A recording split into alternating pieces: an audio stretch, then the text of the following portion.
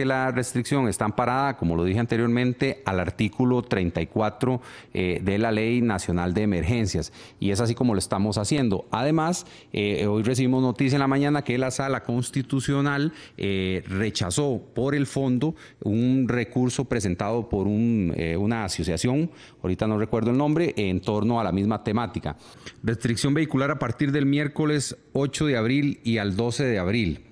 Eh, que es, digamos, donde hay un poco más de, duda. Dice, no circulación de vehículos por las vías públicas con las siguientes excepciones. Eh, los vehículos de transporte eh, de mercancía o carga pueden circular. Los vehículos de transporte público destinados al transporte remunerado de personas en su modalidad taxi y servicio especial de trabajadores y traslado de aeropuertos que cuenten con placa de servicio público, así como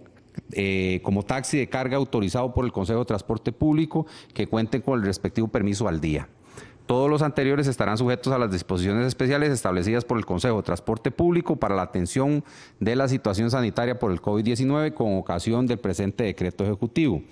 También pueden circular, están excepcionados las personas del sector público o privado que requieran trasladarse, ingreso, salida o necesidad de desplazamiento durante el horario laboral debidamente acreditado. Eh, para el caso del ingreso o la salida de la jornada laboral, la movilización podrá hacerse en vehículo particular o en alguna de las modalidades consignadas en el inciso B del presente artículo en casos debidamente demostrados. Los vehículos que presten servicio de abastecimiento de combustible, los vehículos que presten servicio de recolección de basura, los vehículos de empresas constructoras para el ejercicio de sus labores respectivas, siempre y cuando estén entregando materiales o vayan de regreso después de la entrega. Para su demostración deberán portar documentos respectivos de venta o traslado o entrega de parte del suplidor o contratista, los vehículos oficiales del Ministerio de Obras Públicas y Transportes, así como el Consejo de Vialidad para el ejercicio de sus labores respectivas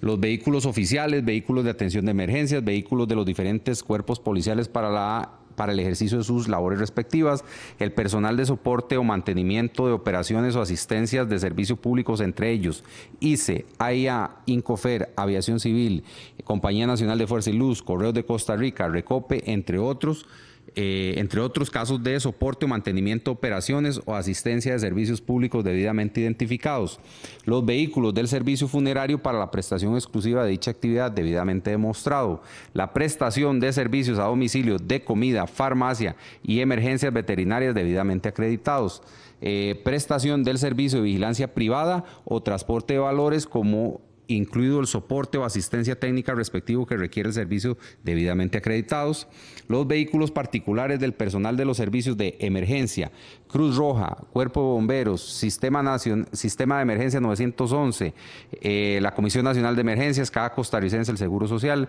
Ministerio de Salud, organismos internacionales y de aquellas instituciones que participen en la atención del estado de emergencia nacional en torno al COVID-19 o para la atención de emergencia propia de sus labores quienes deberán portar su respectivo uniforme, carnet institucional de identificación. Las personas jerarcas de los supremos poderes y personal estrictamente necesario para el funcionamiento de este debidamente identificados. El personal del Poder Judicial para el cumplimiento de las labores debidamente identificados, personal de servicios de salud para el cumplimiento de sus labores debidamente identificados, personal de puertos, aeropuertos, puestos fronterizos, terrestres, al igual que toda cadena de logística asociada a debidamente identificados, personal indispensable para el funcionamiento de operaciones y proveedores del servicio de telecomunicaciones debidamente acreditados